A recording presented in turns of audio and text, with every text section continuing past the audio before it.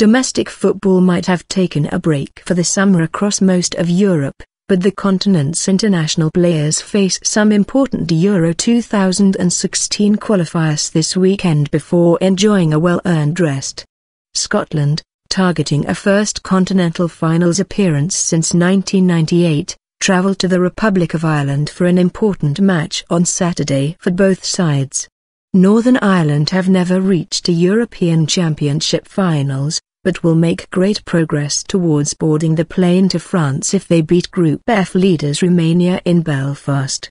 And Wales, also bidding to reach their maiden Euro finals, could strengthen their bid with a positive result in the drop of Group B match against Belgium. The tournament's expansion from 16 to 24 teams has given renewed hope to smaller footballing nations of reaching major tournament finals, while supposedly providing their more illustrious rivals with an easy passage. However, the Netherlands, 1988 European champions and last year's World Cup semi-finalists, could yet miss out. Here are four key matches taking place this weekend which could prove crucial in the qualifying campaign.